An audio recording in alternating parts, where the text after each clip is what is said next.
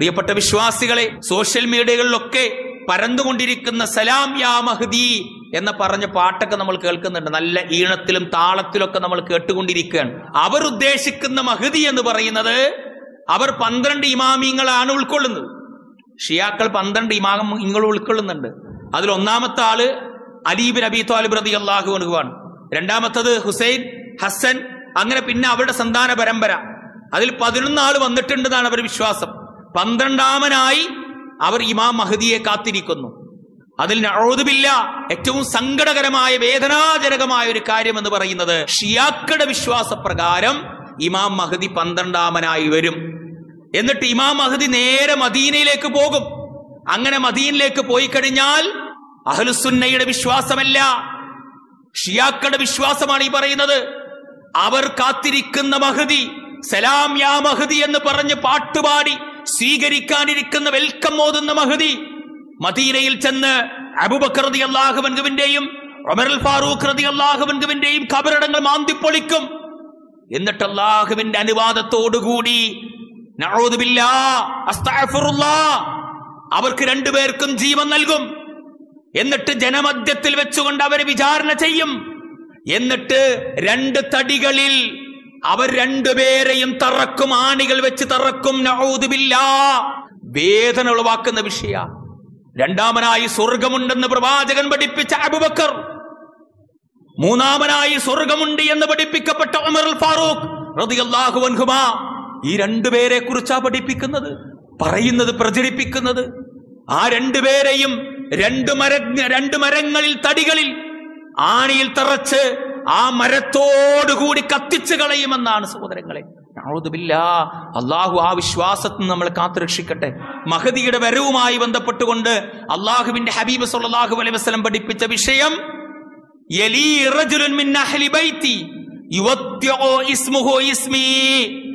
എനിക്ക് ശേഷം എന്റെ കുടുംബത്തിൽപ്പെട്ട ഒരാൾ വരും.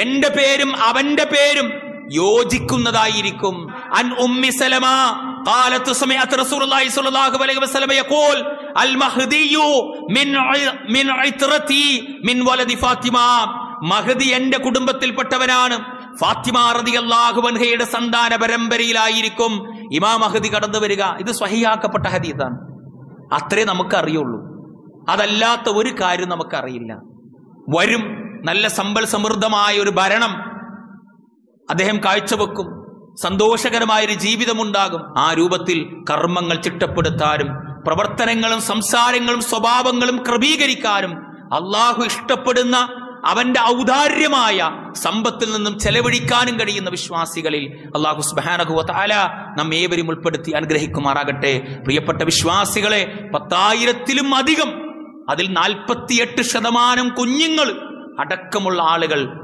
ഗസയിൽ മരണപ്പെട്ടിട്ടുണ്ട്. ദുർഗന്ധം വമിക്കുന്ന പിഞ്ചു പൈതങ്ങളുടെ ശരീരം അലിഞ്ഞുകൂടിയിട്ടുള്ള അടിഞ്ഞുകൂടിയിട്ടുള്ള ഒരു ശവപ്പറമ്പായി മാറിയിട്ടുണ്ട്. നമ്മൾ സന്തോഷത്തോടെ ആഹ്ലാദത്തോടെ സമാധാനത്തോടെ ഈ ലോകത്ത് ജീവിച്ചുകൊണ്ടിരിക്കുന്നു. ആശ്വാസമില്ലാതെ അശാന്തതമായ ജീവിതത്തിലൂടെയാണ് ഗസയിലെ മക്കൾ മുന്നോട്ട് നീ നീങ്ങിക്കൊണ്ടിരിക്കുന്നത്.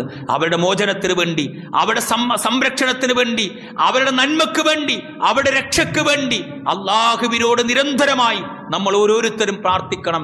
അത്തരത്തിലുള്ള മുത്തക്കീങ്ങളിൽ അള്ളാഹു നമ്മെ ഏവരും ഉൾപ്പെടുത്തി അനുഗ്രഹിക്കുമാറാകട്ടെ. അള്ളാഹുവെ ഗസയിലെ മുഴുവൻ പൈതങ്ങൾക്കും നീ സംരക്ഷണമേകണേ റബ്ബേ. അള്ളാഹുവെ ഗസയിലെ ജനങ്ങൾക്ക് നീ സുരക്ഷിതത്വം നൽകണേ റബ്ബേ. അവർക്ക് നീ സമാധാനം നൽകണേ റബ്ബേ. അവരുടെ രാജ്യം അവർക്ക് നീ സമ്മാനമായി നൽകണേ റബ്ബേ. അവിടെ മരണപ്പെട്ടിട്ടുള്ള പിഞ്ചു പൈതങ്ങളടക്കമുള്ള ആളുകൾക്ക് നീ ശുഹതാക്കൾക്ക് നൽകുന്ന പ്രതിഫലം പ്രദാനം ചെയ്ത് അനുഗ്രഹിക്കണേ റബ്ബേ. അള്ളാഹു വാദിൽ വൽ മിൻഹും اللهم انصر من نصر الدين وانصر عبادك الموحدين. اللهم أصلح أحوالنا وأحوال المسلمين في كل مكان. يا حي يا قيوم برحمتك نستغيث يا رب العالمين. اللهم أصلح حال إخواننا في فلسطين. اللهم آمن روعاتهم واحقن دماءهم وافشي مرضاهم وتقبل شهداءهم يا رب العالمين. اللهم انصر إخواننا المجاهدين في فلسطين. اللهم كن لهم معينا ونسيرا ومؤيدا وظهيرا. اللهم طهر المسجد الأقصى من اليهود المحتلين العاصبين. اللهم يحفظ المسجد الأقصى واجعل له سامنا عزيزا إلى يوم القيامة. بفضلك يا رب العالمين. اللهم دمر أعداءك أعداء الدين يا رب العالمين. ربنا آتنا في الدنيا حسنة وفي الآخرة حسنة وقنا عذاب النار. آمين آمين. ورحمتك يا أرحم الراحمين.